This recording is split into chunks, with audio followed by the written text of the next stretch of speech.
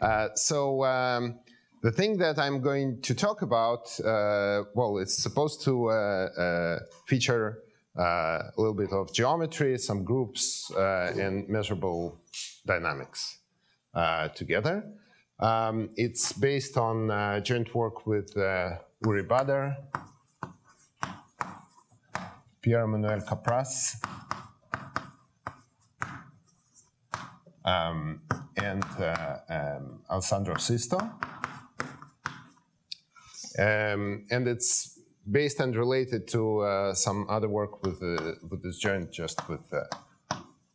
I'm not sure if uh, we're going to get there, but uh, so um, a problem uh,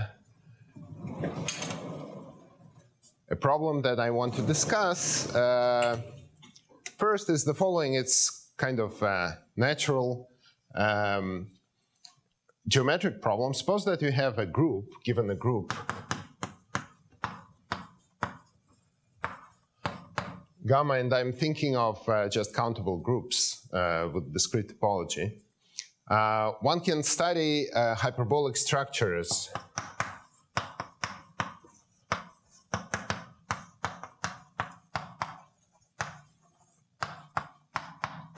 on gamma. So uh, what are those? Uh, well, if, you, if your group is finitely generated, you can uh, set up a Cayley graph. And uh, as we all know and love, uh, if your Cayley graph happens to have this property of thin triangles, um, uh, this, this is very fruitful. these are hyperbolic groups, and we know plenty about them.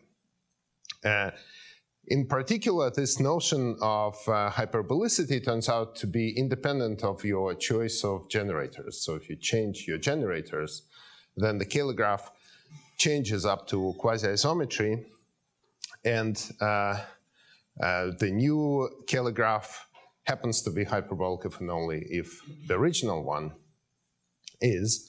So this is actually a property of a group.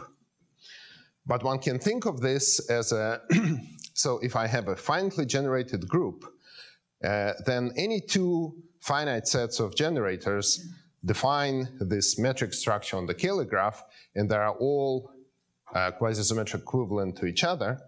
So this notion becomes just notion of these structures given by finite word metrics on gamma. Again, if it is uh, hyperbolic, that's beautiful. Otherwise, we don't know. I mean, interesting still.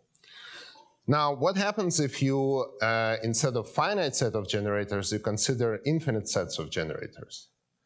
Then things become less familiar, they're a little bit weird. So if I have some subset of gamma, uh, which generates, and suppose that it is also symmetric, uh, one can still look at the Cayley graph of gamma with respect to this set of generators. This is going to be a graph where distance between uh, vertices, so vertices are still elements of gamma, and the distance is just how many S elements you need to multiply to reach there. If this generating is connected, uh, this, this graph becomes connected. But now this gra graph is not proper. If S is infinite, then uh, the origin is connected to infinitely many points and so on. But one can still ask for uh, this graph to be delta hyperbolic and try to uh, get some information out of it. So uh, this leads to this notion of different hyperbolic structures on gamma, by which we will mean, for example, uh, those uh, Cayley graphs, which are uh, obtained by possibly infinite sets of generators for which um, the graph structure is delta hyperbolic. And again, we are only interested in understanding them up to quasi-isometries. So one can actually put this in a uh, maybe better, broader context, and this is the following. So uh, now I'm discussing hyperbolic structures.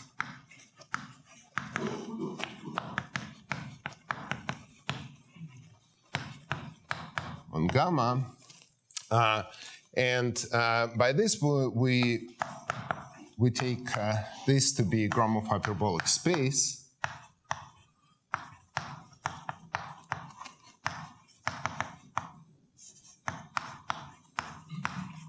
Not necessarily, not necessarily proper. So uh, balls might be not precompact, and we consider an action of gamma by isometries on that space. And uh, let's assume that this action is non-elementary.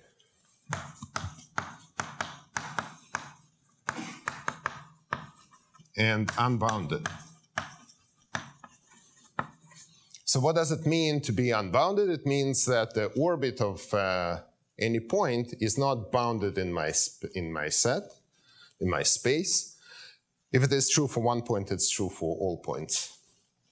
Uh, and non-elementary means that it does not fix a point at infinity or pair of points at infinity. I don't want to write down those things because they become a little technical. One needs to define notion of Gromov boundary of such space and all that. This uh, is familiar in literature, but the picture is always the same. So uh, if your space happens to be hyperbolic plane, for example, uh, in your gamma is just some uh, subgroup of uh, PSL2R, then being non-elementary means not to fix a point at infinity. In other words, not to be conjugate into parabolic subgroup, or not to be not to fix a pair of points at infinity, which means that you are not fixing a geodesic line uh, and unbounded is not being precompact. But anyway, they, these notions are more general abstract settings. So suppose that you have such gamma uh, uh, acting on this space. This defines for us um, a kind of length function on gamma or a pullback of a metric d through the action. So maybe I'll put uh, letter L for length function.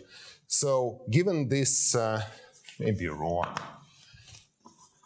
uh, L sub rho is going to be um, now uh, the length function associated to, to this action. So we fix some base point in our space, and then this is just the distance in my space between rho gamma x naught and x naught. Okay, then this length function satisfies certain uh, things. One of them comes from triangle inequality.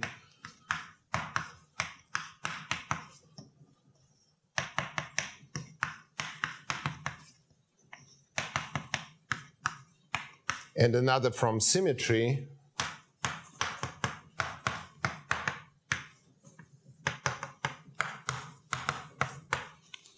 Um, but most importantly, it remembers somehow underlying hyperbolicity. Plus, uh, and this is the thing that uh, I'm really interested in, but I cannot write it directly, but one can imagine the translation of the delta hyperbolicity condition phrased in terms of the metric. It's not going to be pretty, so I'm not going to write it down, but this is the underlying principle. So a hyperbolic structure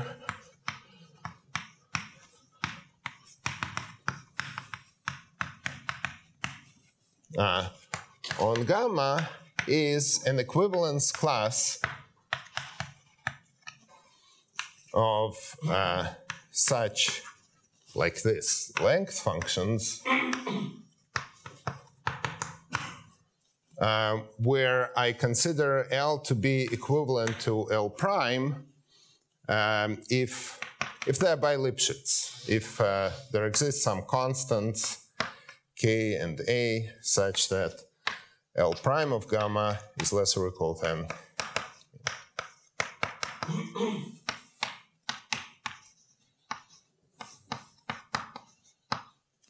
Okay, and uh, so this is a hyperbolic structure. Now, I I want to say that, um, so example, um, I want to say that uh, if gamma is uh, Gromov hyperbolic,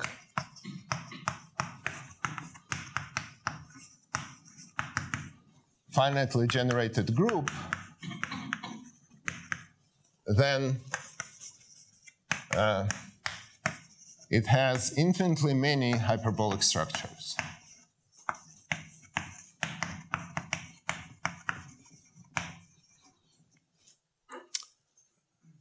It has only one really good, excellent structure which is associated with finite generating sets.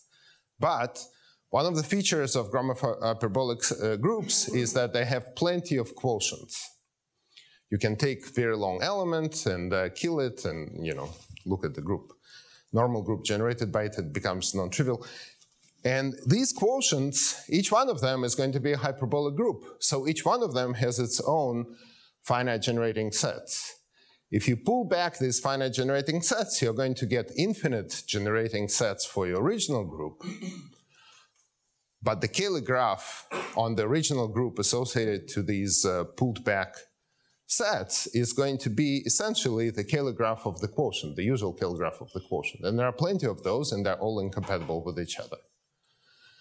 So normal Gromov hyperbolic groups have many, many, many hyperbolic structures. And the question that uh, we would like to discuss is uh, situations where you have uh, few hyperbolic structures. Now, where are my notes? So this question was uh, actually addressed by uh,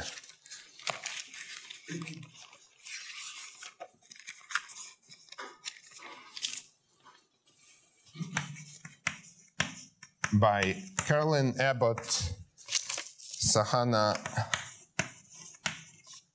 Bala.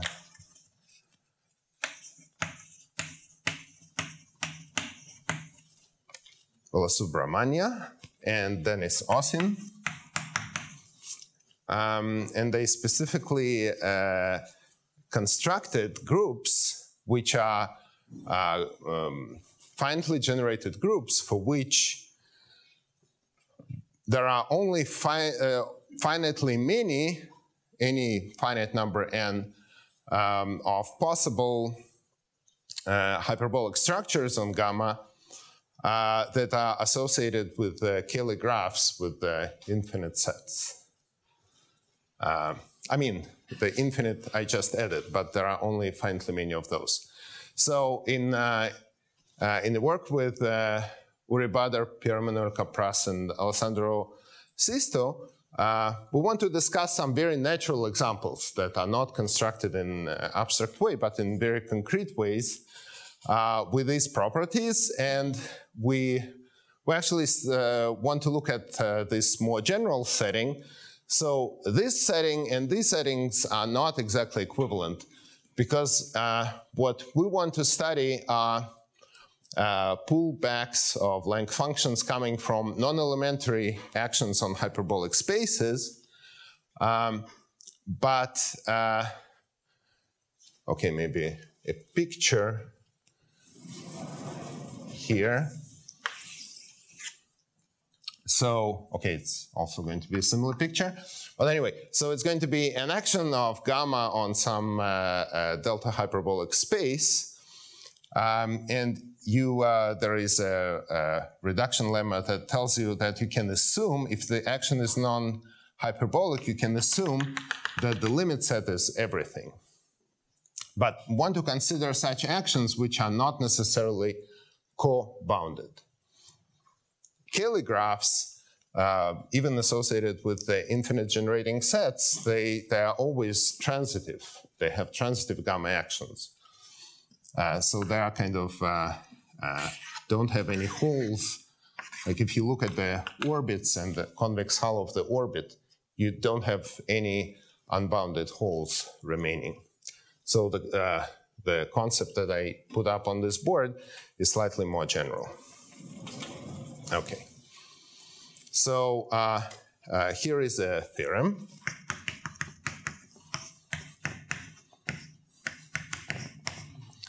Um, so suppose that you take, a, a, well, we like irreducible lattices in high rank, so that's what we do. Uh, so you, you take G to be a product of several groups.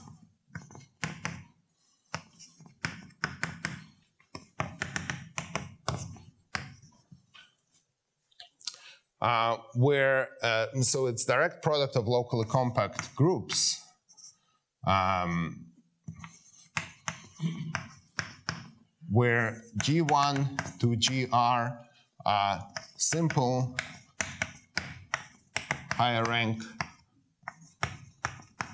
uh, groups over local fields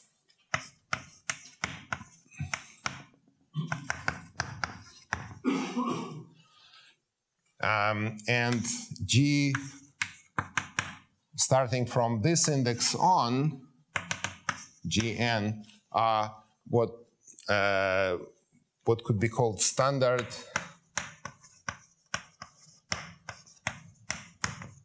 rank 1 groups. This terminology is due to uh, Pierre-Emmanuel Caprace, uh, Yves Cornulier, somewhere, uh, Nicolas Monod, and uh, Romain Tessera. And these are uh, some generalizations of, uh, uh, I mean, this is a class of locally compact groups that act on either they act on regular symmetric spaces of rank one, so um, rank one Lie groups, or they act on trees in, in a nice way, uh, too transitive on the uh, on the boundary. There are several more detailed conditions that I'm not going to uh, go into right now.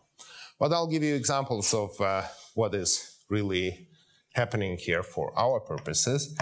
Now let's suppose that gamma is a lattice in this product in G, which is, as we said, this product GNs, and this is an irreducible lattice.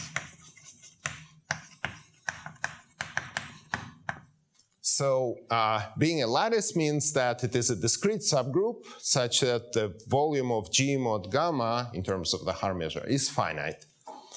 Um, and being irreducible means that uh, it does not have a finite index subgroup that splits as product of lattices in some sub uh, product of those. But this is a fairly common uh, assumption. Then uh, the only hyperbolic structures on gamma are those that are pulled back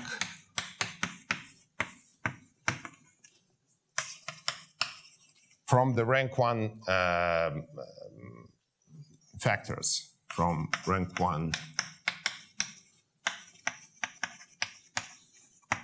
factors. So uh, let me give you a couple of examples.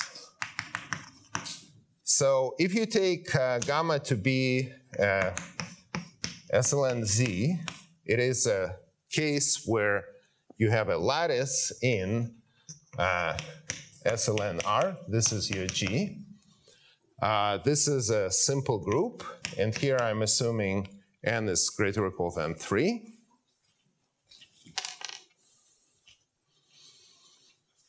Um, then uh, this gamma has no hyperbolic structures on it. In other words, it does not admit any action on delta hyperbolic space, proper or not, which is not elementary. Oh, I forgot the key assumption in, in the main theorem. okay, so there was this, this, this, this, and here we want um,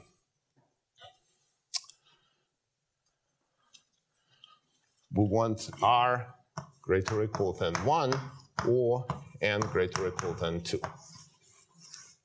because it has to be somehow high rank phenomenon. The way I stated it, I, I should have included actual Gromov hyperbolic space uh, uh, groups. Uh, anyway, it was contradictory. So this is a case where R is 1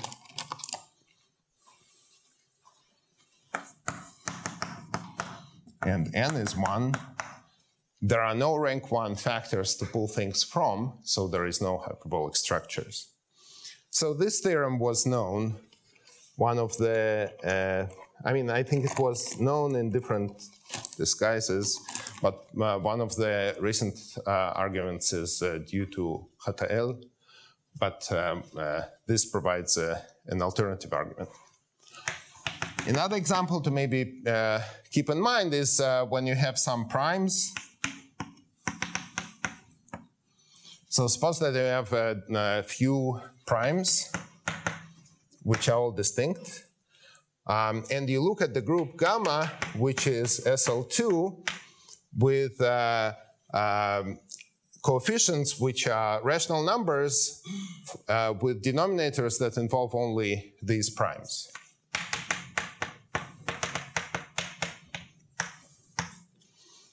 Okay, so uh, SL2 with some restriction on the entries of the matrices. Now, this guy is a lattice in a product, so these are rational numbers. They, they, uh, they can be embedded in uh, um, several uh, local fields. One of them is R, and some others are the p-adic integers and if you look at that embedding in the uh, only in the relevant completions of Q, namely the ones with that here, then you will see that this is a lattice here. It's irreducible lattice. Now, if I assume that I have at least one prime, then, uh, I mean, all of these are standard rank one groups. And um, I need at least uh, two of them, so I need at least one prime. But once I uh, had that, um, this group fits into that theorem with uh, um, n greater uh, n being, uh, so here we have uh, r being zero, but n being one plus L.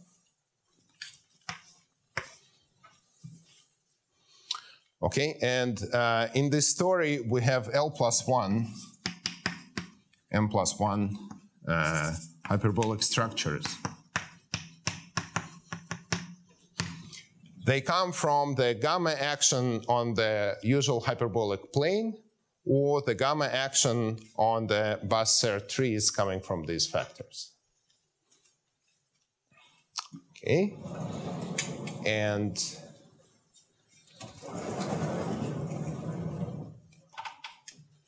uh, another example, uh, if I have a quadratic form in five variables given by uh,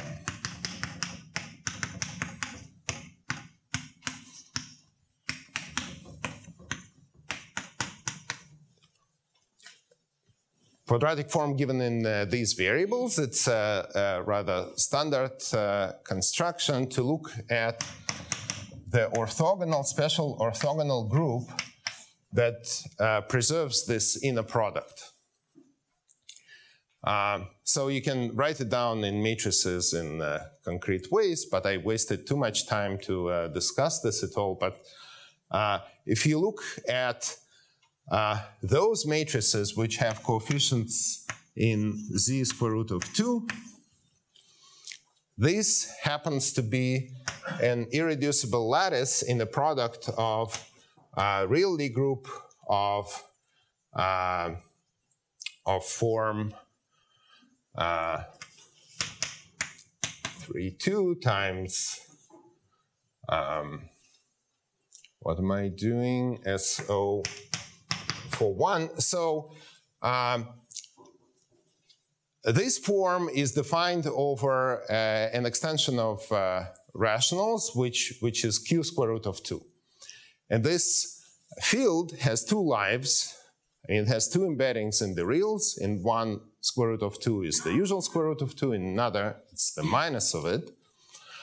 And uh, this gives us an embedding of that arithmetic lattice in, uh, uh, in two real completions uh, of it, which are, from the standpoint of real Lie groups, are these guys. Now, this is the same essentially as isometries of hyperbolic four space, while this is a higher rank guy, simple. So this is a situation where r is equal to 1 and n is equal to 2, because there are two factors here. One of them does not bring any hyperbolic structures with it because it is a high, high rank guy, and this uh, brings one. So this gamma has a single hyperbolic structure. Um, and here I would just uh, write that Burger Moses groups, which are particular lattices and products of uh, certain groups of automorphisms of two trees, they have uh, two hyperbolic structures each. Okay, so, so these are the statements. Um, what about um, anything measurable or anything about the proofs? Sorry? So each one of them has two hyperbolic structures coming from two trees. Oh, there is another board, you.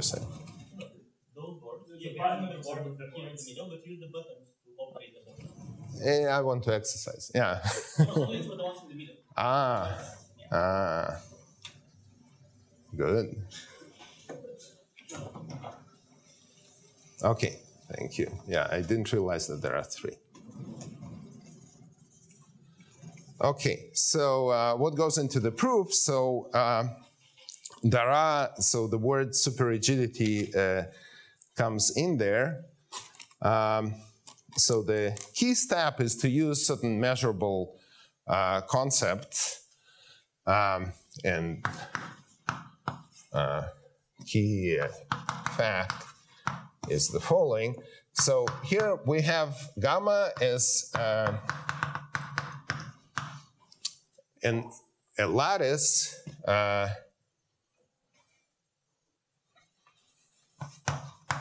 in product of uh, some groups. Okay, um, and we also have uh, gamma acting by isometries on some Gromov hyperbolic space.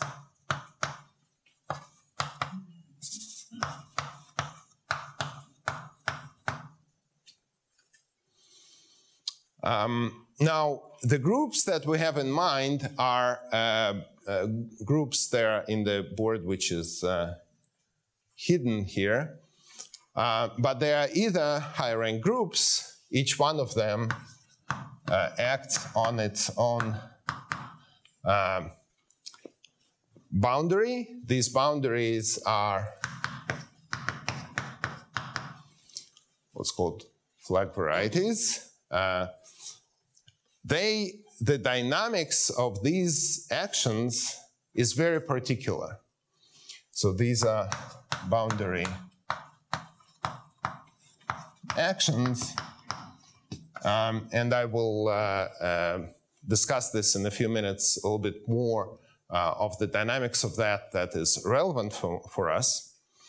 But I want to think of those not as topological spaces, although they're beautiful topological spaces, but we just want to think of them as certain measure spaces. So these guys come with their uh, Lebesgue measures. So this, these are certain measures on the eye. And um, we want something measurable said about uh, those actions. So the key fact here is that if I have a lattice in this product, uh, and on, on one hand, but then this lattice tries to act by isometries on a hyperbolic space in a non-elementary fashion, then there exists an I in this index set, but this I has to come from the rank one pieces only,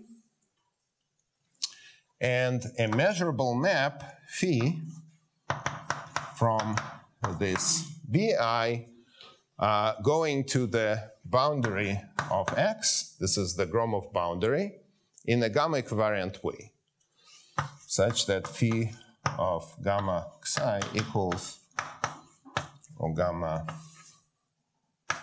phi xi for all gammas and gamma and uh, for almost every xi. Now, uh, so this is going to happen only in the um, only in the if if there are rank one factors present, so only through the boundary of this thing or through the boundaries of this uh, SL2s. Now, if, uh, if the Gs that you are talking about are um, standard rank one groups which are not Lie groups, then they act on trees and the corresponding BI are the ends of trees that come with the uh, certain canonical measure class. So this is going to be the statement. Okay, so there is this statement, and uh, one implication is how to squeeze out of this measurable information the geometric information. So I want to say that um, when I said here that the hyperbolic structures are pulled back from um, from the rank one factors, what was meant was that these rank one factors, each one of them acts on a certain either symmetric space of rank one, hyperbolic plane, or hyperbolic uh, space of high dimension, maybe over complex numbers or quaternions or so, or they come from trees. So uh, what uh, this gives us is that maybe I should have written it that way with the raw is that the metric defined by uh, this action and a choice of uh, any point is going to be equivalent in this sense to the metric coming from the gamma action on that thing or the corresponding tree. So, no, no, there exists a unique I, thank you. There exists a unique I here. Uh, maybe I not, such that uh, there exists a corresponding space. Yeah, I let, let me not decorate this any further so that there is this boundary map and this measurable information can be translated into the uh, into the geometric information. Okay. so uh, I face a choice of either saying something about uh, uh, this implication or explaining how that comes about um, and I'll, I'll uh, I won't write anything, but I will say that this equivalence comes from a pair of inequalities.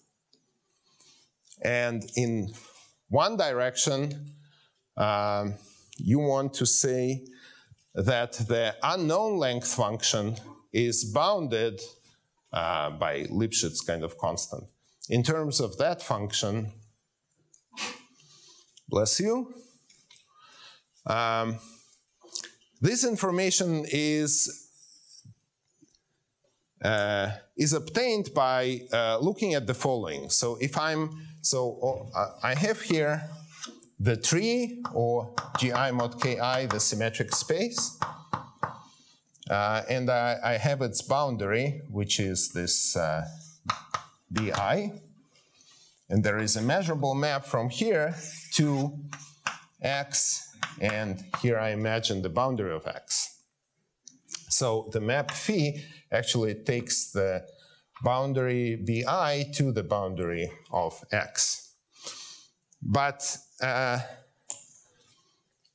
the measures feel something about the actions. That's where dynamics is going on. If I have a sequence of elements, gamma, that stays bounded in my original space, then uh, the dynamics on the boundary is such that uh, the measure is not distorted by too much. So you have, if, if I have a bounded sequence here, then the Radon-Nikodym derivatives of, uh, if gamma i is a sequence bounded in gi mod ki, then the Radon-Nikodym derivatives, uh, ah, so I need to uh, use other letters, maybe J. uh, these guys are bounded by some constant, right?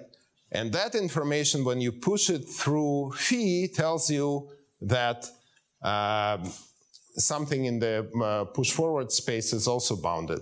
And that can, can be used to say that rho of gamma j's are bounded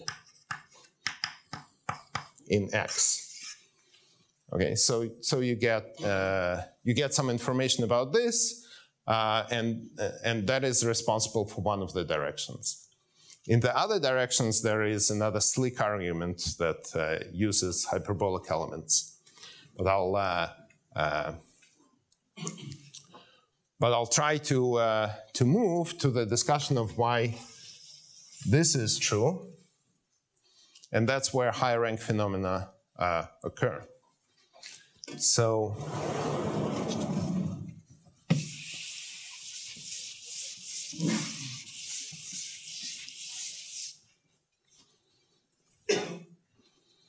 So something about uh, boundaries.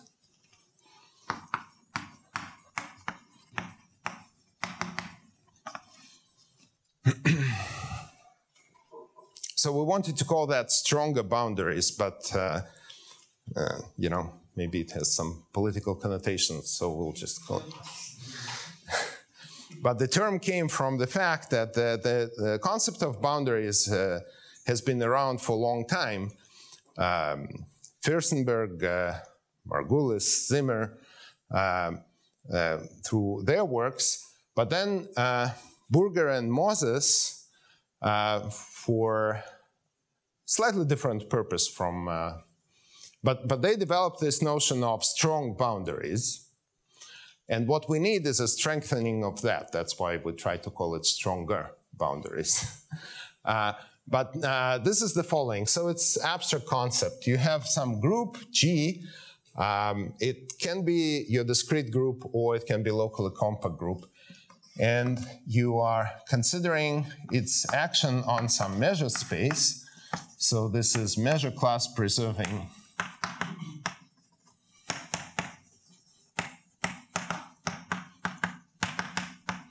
action uh, and you want two properties from that. So one, you want that the G action on B is amenable.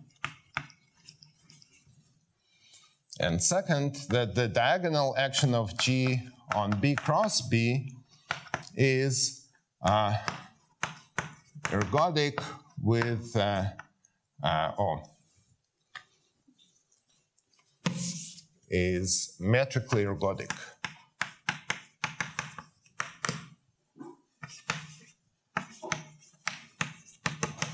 Which is a certain strengthening of ergodicity. Um, now, uh, so the, the, the interesting thing is uh, that, one, this combination of these properties is not empty. You see, this notion of amenability is such that if you have a group action on, on a space and it is amenable, then everything which is above it, so anything which, is, which factors to B, any group action on a space which factors to B, automatically inherits this amenability. So amenability is like uh, going up. It's easy to, so G action on itself is automatically amenable. I'm not going into details. Ergodicity has the tendency of going down. If you have some action uh, which is ergodic, then all of its uh, quotients are ergodic. And the point is that you want something which is uh, kind of in the intersection of the two. So typically there is some region here, so there is a, it's not unique intersection. There is a whole class of actions which are both amenable for B and ergodic with this property on B cross B. Uh, but uh, uh, that's the non-trivial thing. And of course you play them, these properties once against the other. Uh, but uh, the fact that this thing is not empty uh, is guaranteed by uh, Poisson boundaries in general, or Furstenberg-Poisson boundaries.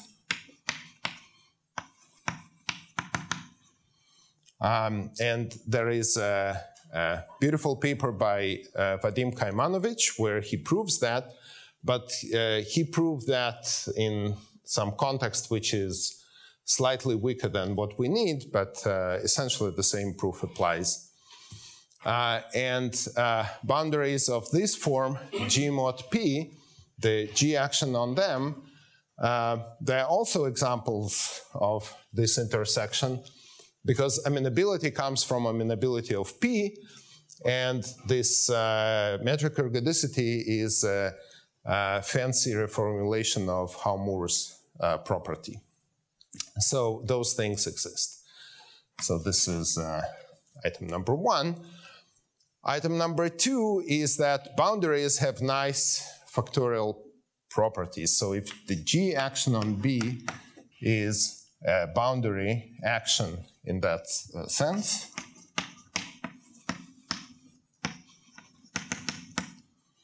and if gamma in G is a lattice, then the gamma action on B is a boundary action.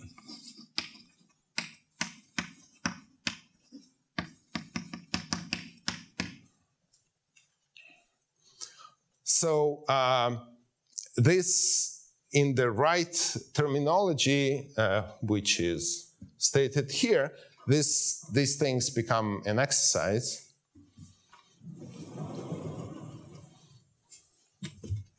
But if you try to start from Poisson boundary of G, and then you try to find a measure on gamma of which this is Poisson boundary, this is the direction that Furstenberg uh, uh, implemented. This is a much harder exercise. I mean, it's, it's, these are deeper theorems. But if you don't care about random walks themselves, but just about these consequences of random walks, then it's easy to derive them.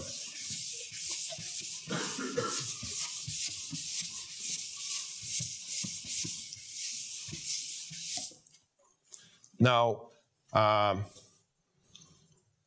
Another aspect of this is that, so this is maybe proposition one. Proposition two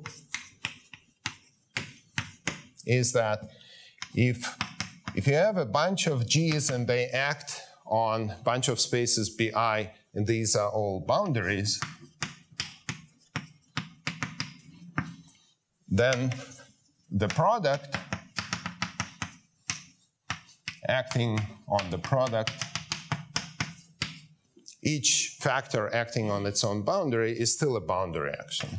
So there is functoriality with respect to multiplications.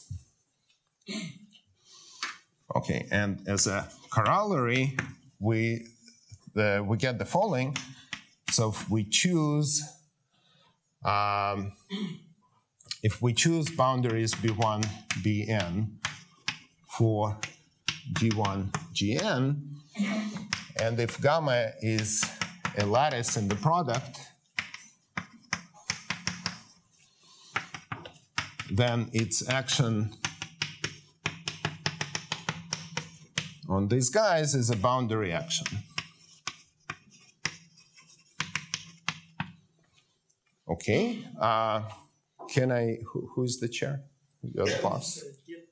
Three minutes? Okay. Let me uh, try to wrap it up somehow. I, I won't get to this uh, one cool idea, but I'll say it Galois correspondence. Galois is a good name to use.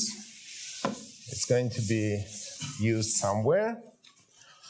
Uh, but uh, here is this concept of uh, Weyl groups. I mean, it's a generalization of, of classical Weyl group, and this is the following. So suppose that you have some group and it acts on B, and this is a boundary action.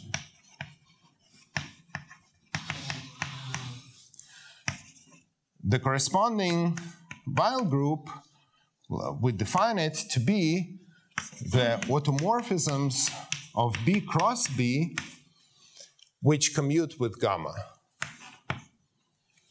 So these are automorphisms of measure space that commute with the, uh, with the diagonal action of gamma. So these are kind of extra symmetries that are supposed to be responsible for high rank phenomena.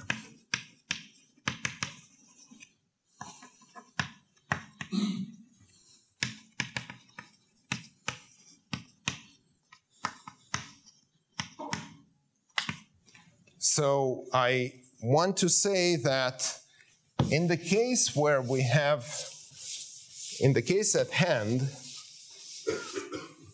so let's put this and that together.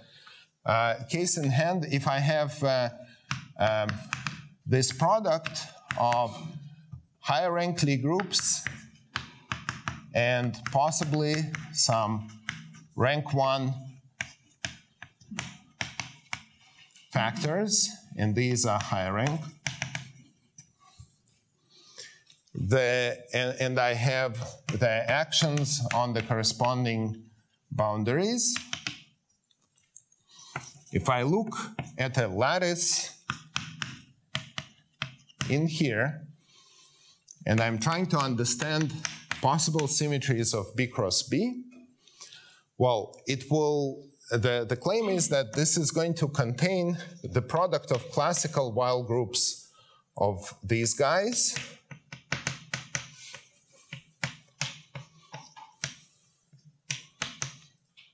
Plus, so one obvious symmetry that you have without thinking at all is flipping the two factors. It's a non-trivial, I mean, if B is not a point, then this is non-trivial uh, symmetry of the diagonal action on, on those spaces. In high rank, simple Lie groups, you have more symmetries, and this is the uh, deeper thing. And in these guys, you don't have anything but those, but you can do it independently for each factor. So you have z mod 2z uh, in this multiplicity.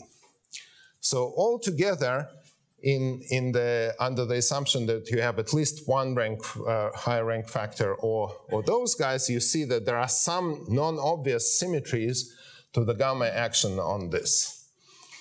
And hyperbolicity uh, um, tries to play these extra symmetries with against the simple-mindedness of hyperbolic actions. Hyperbolic actions uh, don't have any particular complicated symmetries, and I didn't get to uh, state it, but I think um, I'll probably stop here, but the, uh, this uh, high rank phenomena somehow are encoded in, uh, uh, in, in that line. Okay, thank you.